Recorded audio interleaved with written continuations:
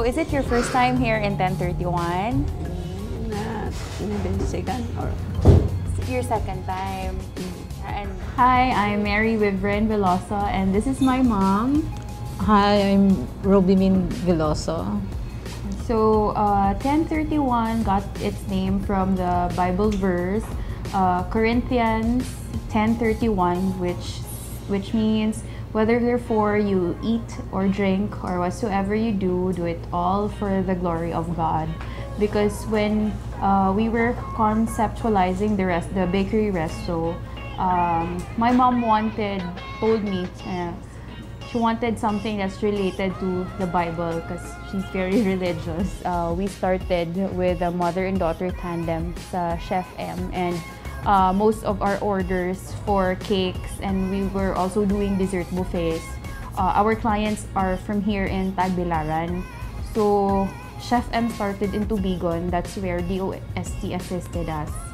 So uh, DOST found the potential and the talent in Chef M. So they assisted us with that. So it was really a big help because since we had the equipments assisted by DOST, we were able to fine-tune our production and um, mas nakaka-produce na kami ng mas maraming volume ng mga breads and uh, pastries namin. It started with Chef M sa bakery and then in-add in na lang namin yung knowledge at saka yung uh, forte ng mom ko sa food para maging bakery resto siya. So, 1031 is a, a corporation na. So, it's not just the. Chef M, sa amin dalawa ng mom ko, tandem namin. And then sa 1031, naging corpo na siya. Mayong adlaw! Welcome to Chef M!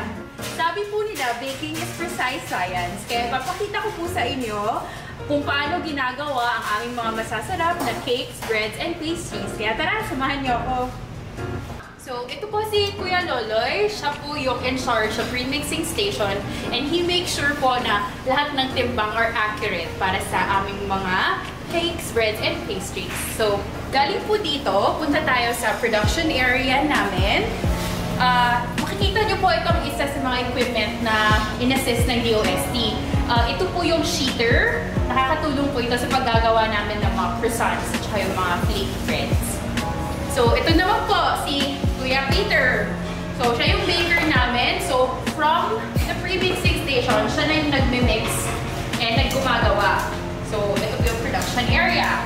Tapos po, si Kuya Peter, pagtapos niyang i-mix lahat ng mga binigay sa kanya ni Kuya Loloy, diretso po siya dito sa oven po. Dito po binibake lahat. So, ito din po isa sa mga equipment na in-assist ng DOST.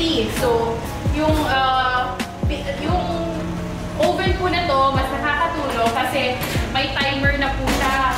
So, talagang yung kung paano namin gusto na maluto yung mga pastries namin, nakakatulong talaga siya. With, the timer and with the new technology. So, ito po, ang isa sa mga best sellers ng Chef M, yung mamon po namin. Before, before po kami in-assist ng DOST sa oven, um, we can only make two trays po ng mamon or ng torta namin. So, that's only about 24 pieces. Pero nung nandito na po yung oven na in-assist ng DOST, uh, we can make up to 12 trays po kasi double deck po siya. Double decker na oven. So, ganyan po kalaki ang tulong ng DOST sa amin. So, pagkatapos po, pag after uh, naluto na po, dito po nilalagay yan sa cooling rack namin. So, dito po, nilalagay yung luto na na breads, cakes, or pastries para palamigin muna. Pag malamig na po yung ginawa from the production area, dadalhin na po sa last stage, which is the icing room or the packaging area. So, ito po yun. Ayan po si Chef M, sa kanya po pinangalan yung negosyo namin. She's my mom po. So dito po, uh, ginagawa ang finishing touches and Chef M makes sure, makes sure na nami-meet talaga yung quality ng mga produkto namin. So that's the magic of science po, from simple ingredients to beautiful masterpieces.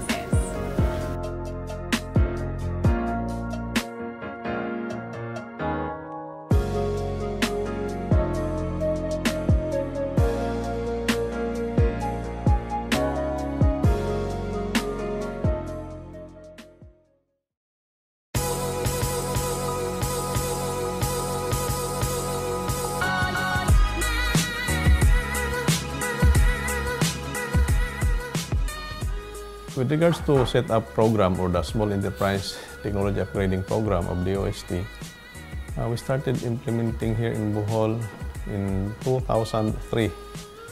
And for four years, parang paisa-isa lang muna. We, we just implemented one project per year during that time. Chief M in, in Tubigon, also one of our uh, later beneficiaries, because I think it's only around two two years or three years, I think, that they availed our, our assistance and uh, they are now producing uh, cakes for their what's it called? The buffet, the, the dessert buffet, because it is uh, famous now here in Bohol that if there are some parties, another corner of the of the, of the food that will be prepared is a dessert buffet. So they will be serving their cakes and the smaller you want the cupcakes, for example. For a startup talaga, um, yung assistance ng DOST, parang win-win talaga siya eh. Kasi um, it's very, yung parang it's made na yung interest nila is really to help their clients. Not for, you can feel na it's not for profit. It's very big, yes. Kasi dati, ah, yung mga experience ko din sa mga dating work ko, parang talagang I have this fear sa to go into business dahil yung sa mga maririnig mo tungkol sa mga government agencies. When I met DOST, sabi ko, iba. They really assist you from step one until kahit na nga tapos na yung tulong nila, uh, nagpo-follow up pa rin sila, nagtatanong kung ah, kumusta na, ganun. Oo, nagpasalamat po mi sa DOST nga ma, sa silang sa ilang pag support sa mga sama sa setter.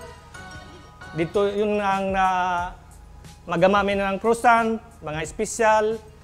Ah, napasalamat mi sa DOST.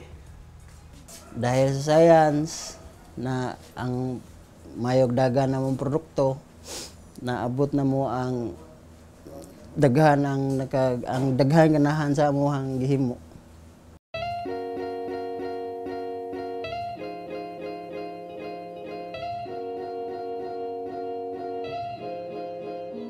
I enjoy with working with them and at the same time I can feel that they really love their staff and they value each and every one. Kanya, nagpasalamat po ko nila ni ma'am nga bis bisag kanang di magita ka perpekto nga pagkatao na ako'y na ako'y sipyat nga sabot na pud sila. Uh, dayon magpasalamat ko nila ni Webbrain nga sa akong pagka baker diha ko na minyo nila antod nga nanan ko yung mga bata. Almost 15 years na ko nagserbisyo sa ila o daka kayo dako kayo pasalamat nila.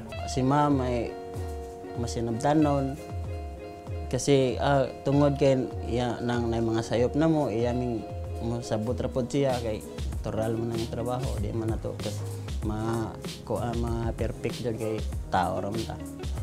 Bisa na sabot ra pod siya napasalamat po ko sa iyang kinaiya hantod nga hantod karon nag nagagwanta po siya nga mi. Iya ra pod mi gisabot. Misabot salamat po mi niya. Basta yung anak si Ma'am Bright. nagpasalamat ra pud ko nilang ma mga gitudluan ko nila ng ani nga trabaho. Kay daghan sa kog nakatunan. Kay pag, pagsugod na ko diri wala man jud ko ingon nga na ko nakatunan pag kuan na karon na naka, na train ako nila dagan mas daghan daghan ako na na mauhan ba nga mga produkto nila 1031's business philosophy is treasured recipes, delightful memories, and by the assistance of DOST, we were able to exude this slogan by giving our clients consistent quality of products and also simple yet very memorable service. So, um, since advocacy talaga namin, at saka yun yung tinuturo ng mom ko na um, in everything that we do, um, uh, we, we give our best para uh, dala-dala ng mga customers namin yung parang good memory. So, through the packaging that was assisted to us by DOST, uh, in a way, every time our customers buy a product from us, tapos dala-dala nila ang box na to from, from Chef M, uh, we feel na they take home with them uh, a really good memory at saka yung best na binigay namin sa anumang yung produktong dala-dala nila. 1031 is not only a fine dining restaurant. We have our full service, ma'am, from catering to mobile bar, from dessert buffet. I, all I can say is 1031 is all in. So 1031 is the perfect restaurant in the city.